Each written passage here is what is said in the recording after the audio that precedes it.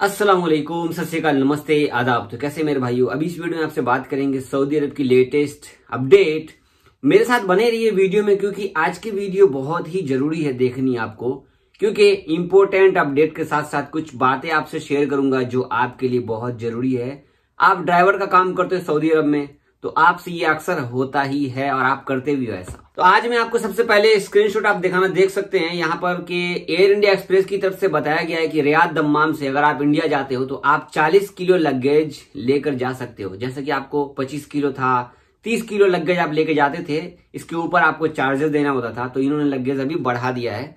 तो 40 किलो सामान आप लेकर के जा सकते हैं। ये एक अच्छी न्यूज़ है, खासकर जो भाई सामान लेके जाते उनको बहुत परेशानी का सामना करना पड़ता था। तो यहाँ पर पैसा नहीं लगेगा आपको। चालीस किलो सामान आप लेकर के जा सकते हो, और जाओ जल्दी से सितारों का सामान वगैरह खरीद लो। लेके जाने के दस किलो बढ़ा दिए इन लोगों ने। तो रियाद जिद्दा दम्माम से सब जगह से होगा ये, ऐसा नहीं है सिर्फ़ दम्माम और रियाद से है। तो तीन जगह से ही तो फ़्लाइट जा रही है इंडिया। अब मैं आपको शेयर करता हूँ सऊदी अरब की कोरोना की अपडेट तो आज है चार मार्च तो आपके सामने स्क्रीनशॉट आप देख सकते हो भाई। तीन सौ पचहत्तर केस, जिसमें तीन सौ छत्तीस ठीक हुए हैं, और देखा जाए तो रियाद में एक सौ बासठ है।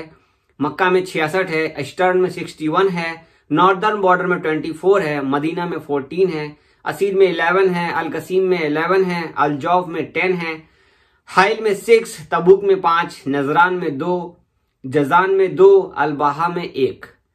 तो भाई, आज का दिन, पता नहीं, कोरोना फिर से हाई हो गया, तीन सौ पचहत्तर हो गया यार। तीन सौ दो, फिर कल तीन सौ छत्तीस, तीन सौ पैंतीस था ना? हाँ। और आज देखो तीन सौ पचहत्तर। क्या हो रहा है ये? घट क्यों नहीं रहा है? क्यों नहीं घट रहा है? पता नहीं। कोरोना की खबर अच्छी नहीं है आज की। आप देख सकते हो ये स्क्रीनशॉट है कि सऊदी अरब में 10 लाख दवाई लगाई जा चुकी है सभी गैर मुल्की सऊदी को मिला करके। इसके साथ साथ सऊदी की दवा आपको हर दवा के फार्मेसी में बिल्कुल फ्री मिलेगा। फ्री ऑफ़ कॉस्ट दवा मिलेगा कोरोना का। ताकि जल्दी से जल्दी सबको दवा लग जाए या फ़्लाइट का सिस्टम बहाल किया जाए, इसलिए अब मैं आपको ये स्क्रीनशॉट शेयर करना चाहूँगा, उर्दू न्यूज़ की आप देख सकते हैं। तो इसमें सवाल किया गया है कि जिन्होंने कोरोना की वैक्सीन लगा ली है, वैक्सीन लगा ली है या लगाने के बाद, क्या हम लोग पेनाडोल खा सकते हैं। जैसे मान लो कि मैं वैक्सीन लगा लिया हूँ, क्या मैं पेनाडोल खा सकता हूँ? तो इसमें वही बताया गया है कि ऐसा कोई दिक्कत नहीं है पेनाडोल खा सकते हैं। और ऐसा कोई भी साइंस में कोई शोध नहीं निकाला गया कि इससे कोई इफ़ेक्ट है, ये वो, ऐसा कोई इफ़ेक्ट है। वैसे भी आपको बता दूँ कि इसमें यह भी लिखा हुआ कि कोरोना वैक्सीन जिसको भी लगी है, अभी तक कोई भी इफ़ेक्ट नहीं निकला है, गलत। तो अफवाह पर ध्यान आप मत दीजिए। तो पेनाडोल आप लोग खा सकते हो, कोई दिक्कत नहीं है, इसमें बताया गया है, ठीक है। अब मैं आपको शेयर करता हूँ, सऊदी अरब में मस्जिद के हवाले से खबर। तो आपके सामने उर्दू न्यूज़ की स्क्रीनशॉट आप देख सकते हो। पूरे सऊदी में 24 दिनों में एक छियानवे मस्जिद बंद की गई, जिसमें से एक मस्जिद खोल दी गई है। बाकी जो मस्जिद बंद है, उसे भी खोल दिया जाएगा साफ़ सुथरा करके। मस्जिद फिर खोल दिया जाता है सैनिटाइजेशन वगैरह करके। मस्जिद की अपडेट मैं क्यों देता हूँ? हर दो दिन, तीन दिन पे मैं आपको बताता हूँ, क्योंकि कोरोना के जो मरीज़ निकलते ज़्यादातर मस्जिद में मिल रहे हैं, इसके लिए ये बताना आपको ज़रूरत है, क्योंकि आप अपना हिफाजती इकदाम देख कर जाइए, तबीयत सही नहीं है तो मत जाइए मस्जिद में, घर में ही नमाज़ पढ़ लीजिए। अब मैं आपको एक स्क्रीनशॉट शेयर कर रहा हूँ, ये देखो, उर्दू में एक यूट्यूब चैनल है, मैं नाम नहीं बोलूँगा। तो इस भाई का चैनल का लिंक मुझे किसी भाई ने भेजा था फेसबुक पे, मैं नाम बोल गया, क्या नाम था उनका, जावेद भाई थोड़ा चेक कीजिए, ये भाई बोल रहा है कि पाँच मार्च को फ़्लाइट खुल जाएगी, फिर बोल रहे सत्रह मार्च को फ़्लाइट खुल जाएगी।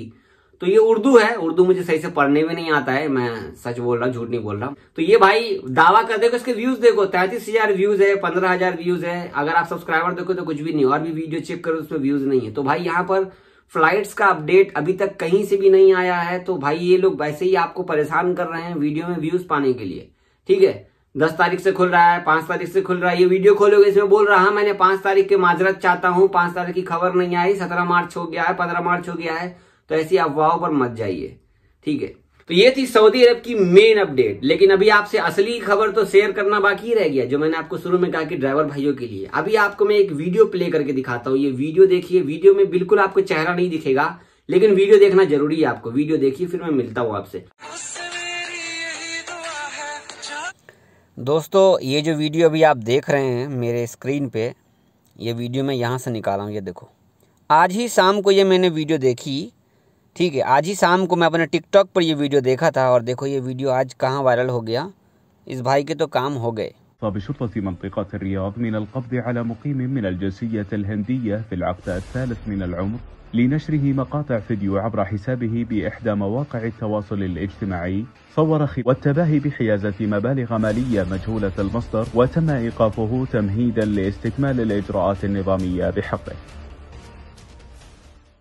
तो देख लिया आपने वीडियो। तो इस वीडियो में क्या बताया जा रहा है? मैंने ट्विटर पे बताया, लोगों को, बहुत सारे भाइयों को पता है कि मैं ये वीडियो में क्या बता रहा हूँ। जिनको अरबी पता है, उनको मालूम ही होगा। हमारे बहुत सारे भाई सऊदी अरब में, खासकर जो मैं वीडियो बना रहा हूँ, मैं भी हाउस ड्राइवर हूँ, और आप भी बहुत सारे भाई ऐसे जो हाउस ड्राइवर हैं या ड्राइविंग का काम करते हैं, या कोई ना कोई काम करते हैं, लेकिन ऐसा क्या नहीं, ये हरकत है जो वीडियो बनाने की। आप ये वीडियो में आपने देखा है, जो साइड में चल रहा है ड्राइवर है हाउस ड्राइवर। और रियाज की बात है भाई, रियाज की। आपको बता दो, ये वीडियो मैंने कल टिकटॉक पे देखी थी। मैंने कहा, यार, ये शायद कहीं चलाना इसका काम ना हो जाए। कल मैं जैसे ही फॉर यू पेज देखा टिकटॉक का तो उसमें मुझे ये वीडियो मिली। अब मैं वो वीडियो ढूंढ नहीं पा रहा, मिल नहीं रहा। लेकिन उसके ठीक दो तीन घंटे के बाद मैं देखा कि ट्विटर हैंडल पे ट्वीट रियाद करके ट्विटर हैंडल है रियाद वहाँ पर देखा कि ये वीडियो पोस्ट कर दिया गया।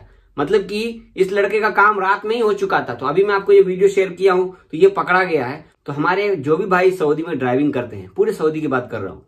तो भाई ऐसा कोई वीडियो मत बनाओ, जिससे आपको परेशानी हो जाए। दो चार चंद लाइक के लिए अपनी ज़िंदगी खतरे में डाल रहे हो यार।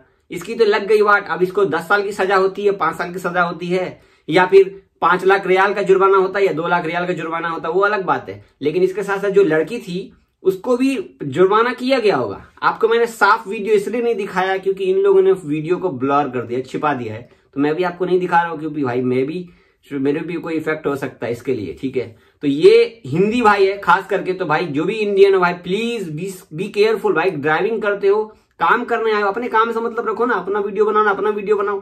किसी लड़की को इंक्लूड मत करो। तो भाई ये ड्राइवर वाले जो भी भाई हो भाई प्लीज़ बी केयरफुल यार बी केयरफुल मैं मज़ाक नहीं कर रहा हूँ, हल्के में मत लेना इसको। अपने दोस्तों को ही बताना, ये बात मैं झूठ नहीं बोल रहा, जो भी आपको शेयर किया ना ट्विटर अकाउंट पे जाकर चेक कर सकते हो। और ये बहुत ज़रूरत था मुझे बोलना कि खास करके हमारे भाई लोग गलती करते ही करते इस बारे में।